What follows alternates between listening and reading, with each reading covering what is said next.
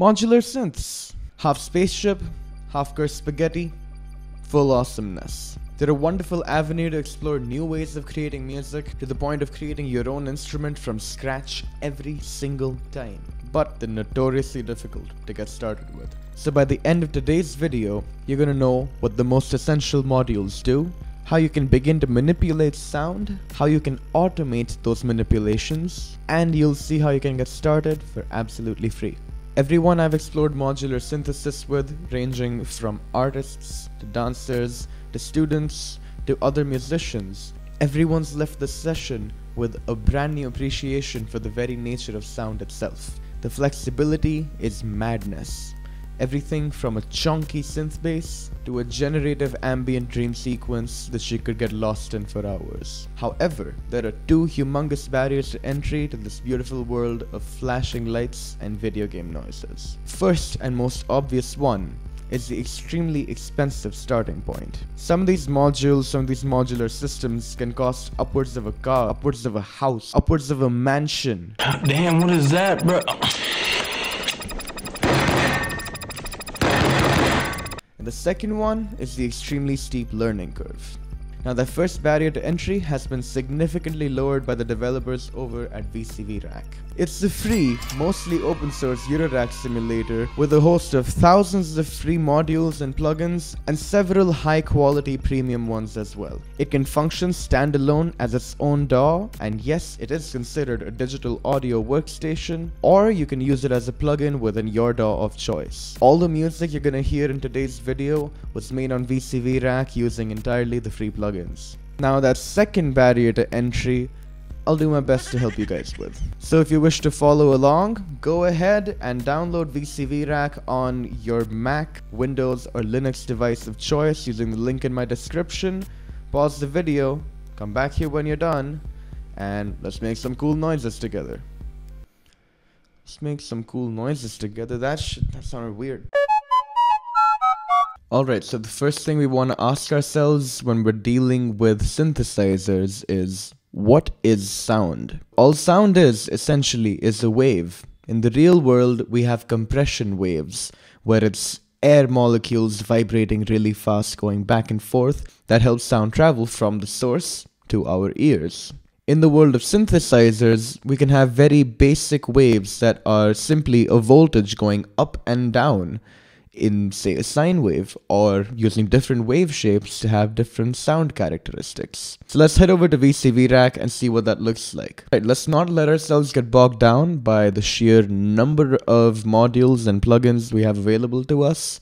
So first things first, we need an oscillator or a VCO, a voltage controlled oscillator. We can just take the sine output of this oscillator into our mixer and that's gonna let us hear it. Alright, so when you're listening to a pure wave, that's what it sounds like. Let's make things a little bit more interesting. I have a MIDI controller connected over here, the Arturia MiniLab.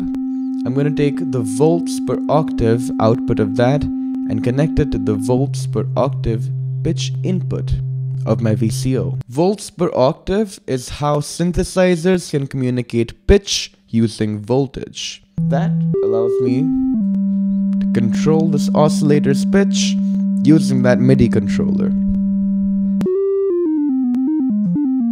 But here's what we're gonna do now. We're gonna take a filter, we're gonna run this saw wave through the filter and get a low pass. I like that about that. Cool, so now we get to shape the character of our sound a little bit.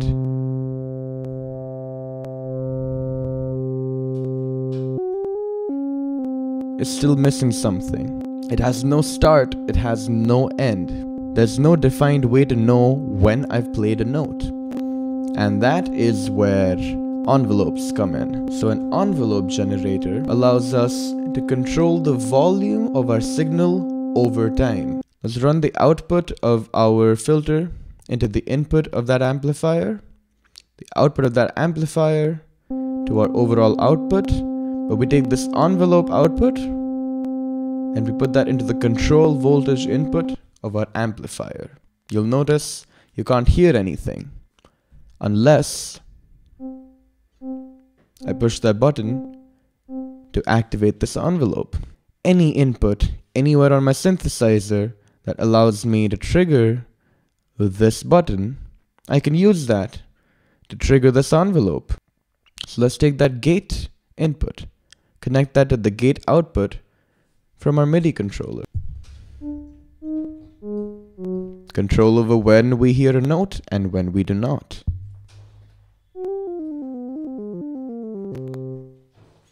That's awesome. Now I can begin to shape the sound a little bit closer to what an instrument might sound like.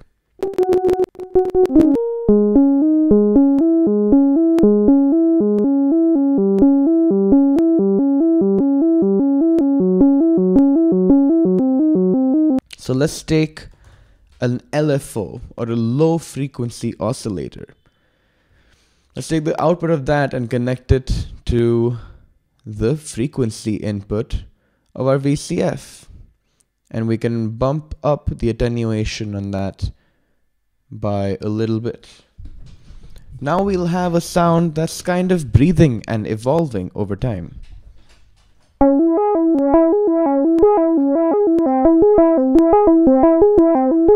And now we have a basic synthesizer that we can play like an instrument. So that's cool. Now, oscillators being controlled by 1 volt per octave is how we get pitch into modular synthesizers. Congratulations, you've made your first basic subtractive synthesizer. That's stage 1. Moving on to getting time into our synthesizers. We do this using clocks and sequencers. Let's head into VCV Rack and see how it's done. So first things first, I'm gonna bring up a clock. This is a super basic clock. It's called clock. Then let's bring up a basic gate sequencer. This is a 12 channel 16 step gate sequencer. Now here's what we're gonna do. We take the clock output from our clock and put that into the clock input of our sequencer. You're gonna see that it cycles through each step of the sequence. This is how we're gonna get time into our synthesizer. Let's make this do something basic right now. I'm gonna pull up a percussion synthesizer. Let's take this gate output and put that into the gate input on the oscillator side.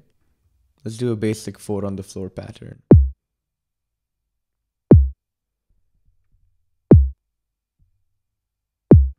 Cool, we can go a little faster. Cool, so now what we have here is a kick drum playing a 4 on the floor pattern. What I'm going to do is I'm going to make another little sequence on track number 2 over here. Take the gate outputs from that and put that into the gate input for the noise side of this percussion synthesizer. Let's take that output and put it into our mixer.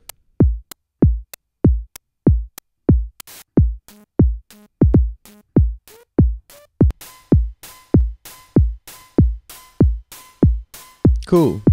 Now we got this little sequence going on. What I'm going to try to do now is make a third sequence.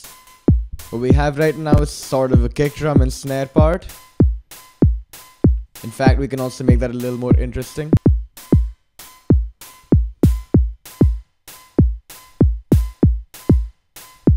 That's sick. Okay. What I'm gonna do is I'm gonna make a hi-hat. I'm gonna do a subtractive synthesizer, but instead of subtracting from a wave, I'm gonna subtract from a noise signal. Let's take the white noise output, put that into the input of our VCA. The envelope output from this ADSR to the VCA CV input, and the output from the VCA to our mixer. I'm gonna make a little envelope that I think looks kind of like a hi-hat. I'm going to connect the gate input to that gate output.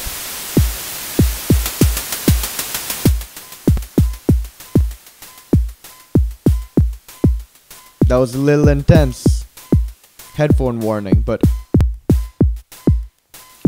And looks like if we adjust the decay we can decide whether we want an open hi-hat or a closed hi-hat.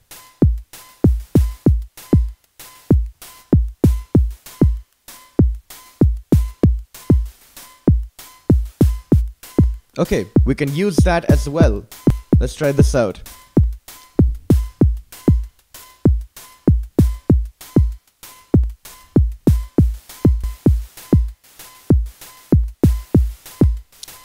There we go. That's the groove. Cool.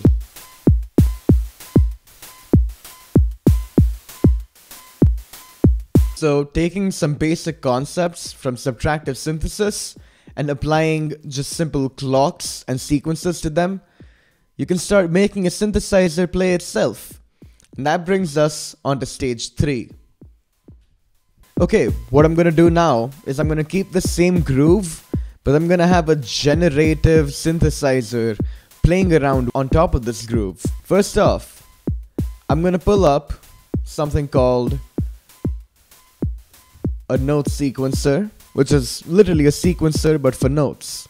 Let's take the quarter note output into the clock input. So it kind of moves. Okay, cool. Let's connect the resets as well so we can reset all our sequencers from one place.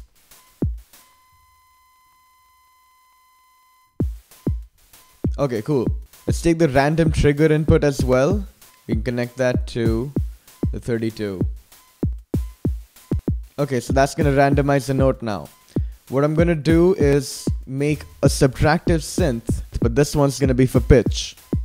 Let's take a wavetable VCO. We'll take the volts per octave from our sequencer into the volts per octave of the wavetable. Let's take the output of the wavetable into a VCA.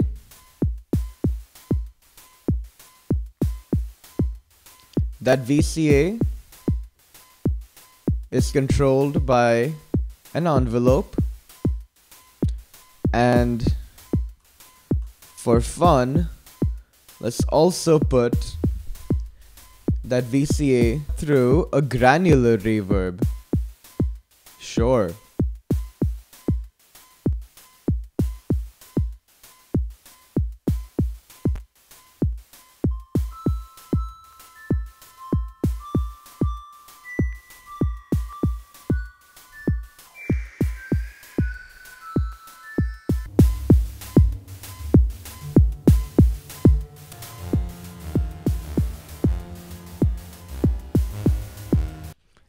And yeah, that's how you make a basic generative synthesizer.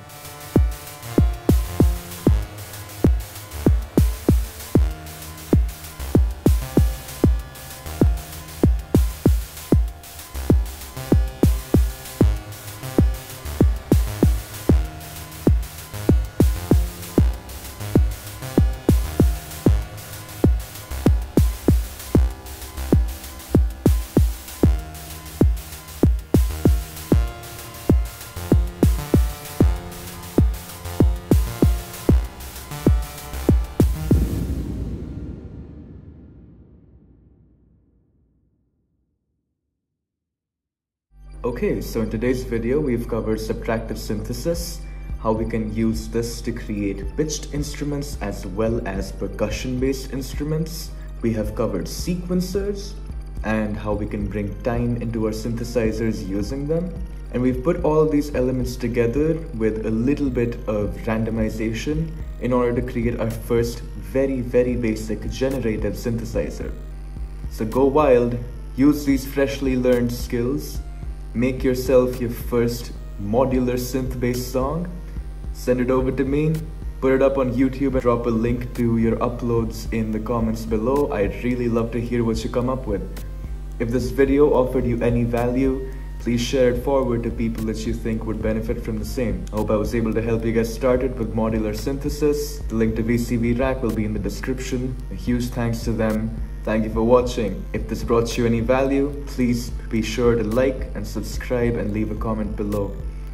I'll see you in the next one. It's been a long time, but we're back.